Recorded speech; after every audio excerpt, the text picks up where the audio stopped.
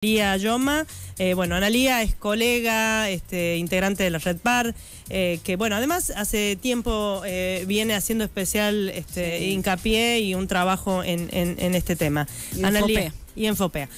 Analía, ¿cómo estás? Buen día. Antonella y Maya, te saludamos acá. Hola Anto, hola Maya, ¿cómo, están? Ana? Bien. Bien, gracias Ana por atendernos. No, ustedes. no, bueno, por supuesto, nos parecía muy importante hablar de de, esto que es verdad, nos afecta fundamentalmente a los y las periodistas o a quienes trabajamos en la comunicación. Poder acceder a la información pública es un insumo básico para poder contar, tratar de explicar o entender la realidad, pero no solamente a nosotros, ¿no? Creo que le termina afectando eh, a, toda la población en, en, general. Empecemos por ahí, Ana. ¿Cuáles son este, las modificaciones que estableció eh, este decreto eh, sobre la ley 27275? Bueno, en principio lo que hace este decreto es marcar una restricción en el acceso a la información pública, que si bien es un ejercicio que hace el periodismo, también fundamentalmente tiene que ver con la ciudadanía por un lado y también con la obligación que tienen los gobiernos en representación del Estado en poder dar información pública en lo que hace a eh, el funcionamiento ¿no? o de las políticas de, sus gobiernos que llevan adelante. Entonces, eh, con esta ley que se sancionó el gobierno de Macri, lo que hace eh, es hacer una restricción, una redefinición de lo que es el concepto de información pública. Y básicamente lo que dice es que no permite em, brindar datos de lo que se lo, que tiene que ver a la esfera entre comillas doméstica no es decir este qué podemos saber de la vida privada de quienes gobiernan y la verdad que, no es un punto no es un punto menor porque quienes llegan a los lugares de, decisión y tienen responsabilidad en tomar eh, decisiones para la transformación de la vida de las personas eh, si tiene importancia, digamos, ciertas cuestiones que los vinculan con la vida privada. Entonces, recordemos que eh, ah, hubo, un pedido de acceso a la información pública que tenía que ver con, con sus mascotas, y por lo cual Rodolfo Barra dijo que era una cuestión que no era importante para que se conozca en, cuestiones de información pública. Así hubo otras cuestiones vinculadas a eso. Entonces, eh, en principio lo que viene a hacer es eh, a restringir, pero también es llama la, llama la atención primero bajo el concepto de que eh, el presidente Javier Milei todo el tiempo habla de la libertad, ¿no? Mm. Y, y, acá pone una restricción a la libertad y lo que tiene que ver con la libertad de expresión.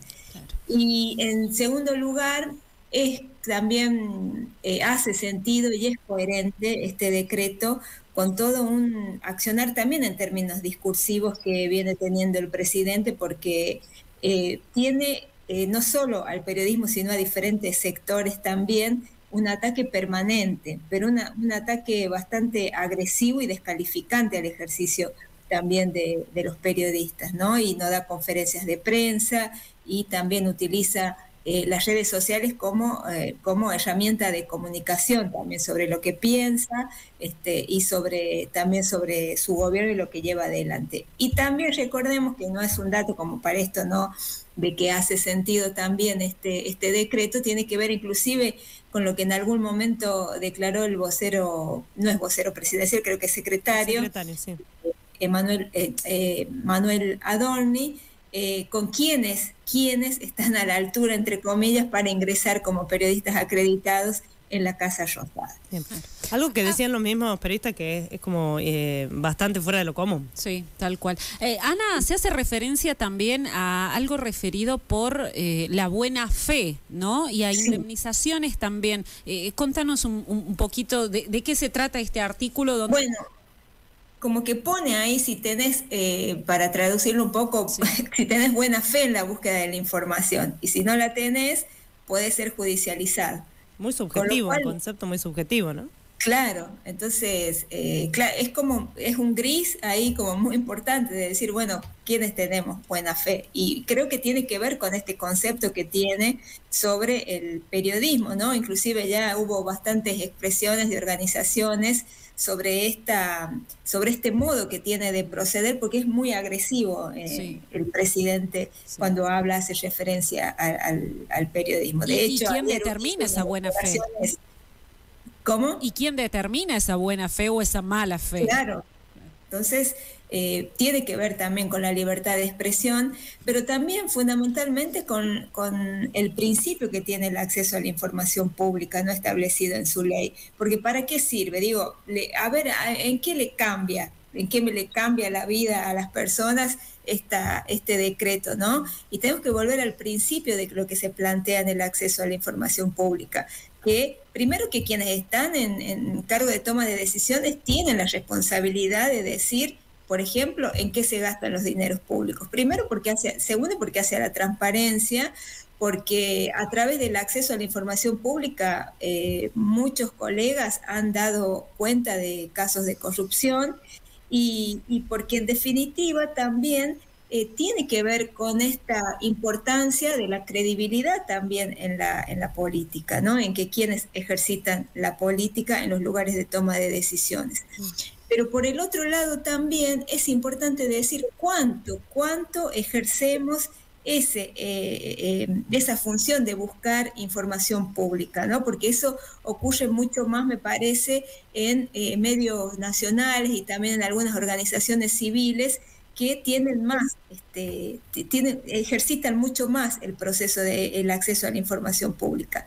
Pero si nosotros lo tenemos que plantear, porque no solo es lo que dice el presidente y no solo lo que es lo que dice este decreto, que además ya eh, hay especialistas que dicen que es inconstitucional y ya también un grupo de organizaciones se ha expresado para que lo dejen sin efecto y también inclusive legisladores para que lo dejen sin efecto, porque hay una coincidencia respecto de este decreto más allá de las líneas editoriales de los medios de comunicación. Pero si lo traemos, por ejemplo, al plano local y todavía tenemos mucha deuda con lo que es el acceso a la información pública. Entonces, la provincia tiene una ley, tiene una ley de acceso a, la información pública y siempre hay que mirar en las normativas cuáles son las excepciones, mm. porque muchas veces las excepciones terminan siendo una limitación en el acceso. Claro. Sí, como, como en este caso, Ana, eh, me parece que, digamos, hay dos elementos que son eh, preocupantes. Por un lado, la discrecionalidad de quién va a decidir qué es de interés público. ¿No? Y, y, qué es secreto o qué de pronto eh, no se puede revelar. Y, por otro lado también eh, esta idea de, que hay información, que en este caso, que es a la que uno trata de, acceder o tratamos de acceder como, como periodistas, que sí tienen que ver con gastos públicos. Por ejemplo, vos lo decías al principio que quizás fue uno de los primeros elementos que molestó al gobierno cuando se empezó a preguntar de pronto eh, quién pagaba los caniles que se compraban para, el, para el caso de los perros del presidente Javier Milei. Digo, si hay un gasto público, es de interés público. Sí, o también quienes, o las visitas que ingresaban a Olivos, también este, es algo que se conoció, lo de los alimentos del Ministerio de Capital Humano, ¿no? los alimentos que estaban guardados y no se distribuían, también tuvo que ver con un pedido de acceso a la información pública y además publicado por un medio, por el Destape. Eh, es decir, también esto que estar en, la función pública no es una cuestión discrecional, salvo las excepciones puntuales y que tienen que ver con la seguridad nacional, ¿no? Porque hay excepciones que así lo determinan. Pero, y además, quién dice y quién no dice qué publicar, me parece que es a la inversa, que si, la ciudadanía pide y el periodismo pide en el ejercicio ¿no? de, la, de la actividad y de la profesión, eh, claramente se la tiene que dar. Eso primero. Y lo segundo, que lo decía también el otro día en, otra entrevista, y también con esta idea no solo del acceso a la información pública, sino que el presidente tampoco da conferencias de prensa, es que nadie nos debe decir ni qué tenemos que preguntar ni cómo tenemos que preguntar. Y eso me parece que no es solo para, para el presidente Javier Milei, sino es que es de manera transversal también, ¿no? Y tiene que ver con cada vez mejorar este, este sistema democrático, ¿no? Y, eh, y, que se pueda preguntar sobre lo que corresponde y con la profundidad que, que, corresponde y que se puede preguntar, porque también acudimos a una lógica que no digo que estoy en contra, pero que se comunica mucho por redes sociales y a veces eso es muy limitante. Claro, claro. No puedes preguntar, digo, ¿no? Hay un mensaje direccionado, se dice, pero no uno no puede indagar un poco más.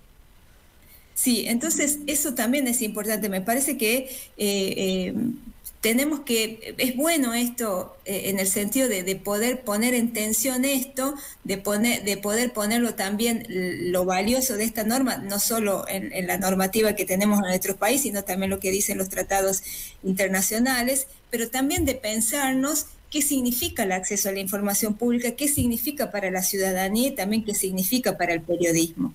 Y cómo la estamos ejercitando, si lo estamos o no lo estamos ejercitando, al margen no de toda esta ya de toda esta movida que se ha armado a nivel nacional no solo con organizaciones que nuclean a periodistas sino también organizaciones de la sociedad civil que trabajan por la transparencia y eh, eh, hacen pedidos de acceso a la información pública en relación a las políticas públicas que llevan adelante los gobiernos. Además de la violencia, ¿no? Que, significa, digo, hacer un, cambio y una modificación así por decreto, sin un debate, sin escuchar opiniones de distintos partidos políticos, digo, de manera arbitraria, tomando una decisión eh, de, sopetón, digamos. Además, también en lo jurídico, Analía, que un decreto modifique una ley, digo, esto también hay una cuestión técnica ahí.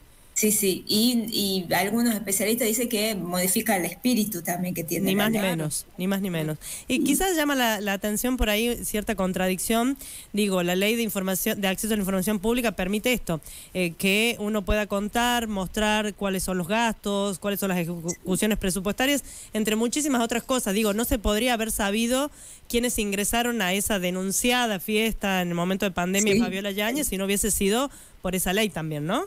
Eh, y, no solo eso, sino también ahora el contexto de esta causa judicial de, este, de por violencia de género, también lo que tiene que ver con las visitas, con las personas que, que, estaban, que estuvieron durante todo ese tiempo. Bueno, eso también hace, claro, sin acudir a todo ese proceso de, de revictimización que también fue sometida la, la ex primera dama. Digo, que la libertad de, expresión hay que defenderla, pero también el nombre de la libertad de expresión no podemos decir cualquier cosa.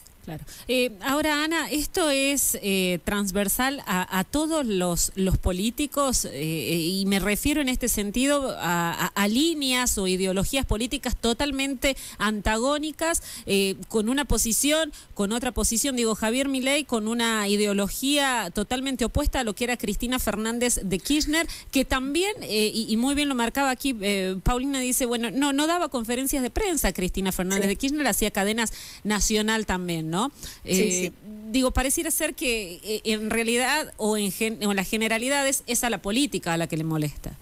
Claro, eh, por eso decía, ¿no? Que tenemos que ejercitarla y fundamentalmente no nos tienen que decir que tenemos que preguntar, pero además no tenemos que perder el ejercicio de preguntar porque eso también es sumamente importante para el periodismo. Y además otra cosa puntual en términos del acceso a la información, que la información debe estar disponible, ¿no? Es una cuestión progresiva, es decir, por ejemplo, si yo ingreso a un sitio gubernamental, eh, y hay información que de por sí debe estar disponible ya ahí, ¿no?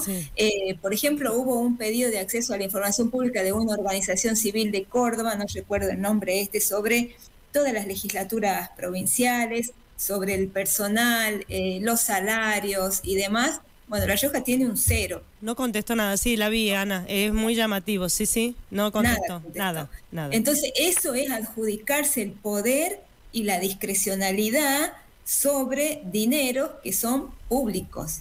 Y eso es la, la importancia. Pero lo tienen que saber quienes deciden postularse a un lugar de gobierno y entender que el poder es para tomar decisiones, pero que tienen que ser en función de la vida de las personas que transformen sus vidas, este, pero que además esa información la deben contar. Y claro, están obviamente todas esas personas eh, eh, sujetos a que las personas estemos mirando qué están haciendo en términos de la responsabilidad que les cabe, porque tienen un rol fundamental. ¿no? Han llegado por la voluntad popular y en representación, pues dice, estamos representando la voluntad popular. Bueno, en representación de la voluntad popular tienen que dar explicaciones. ¿no? Y cada uno con la función que le compete.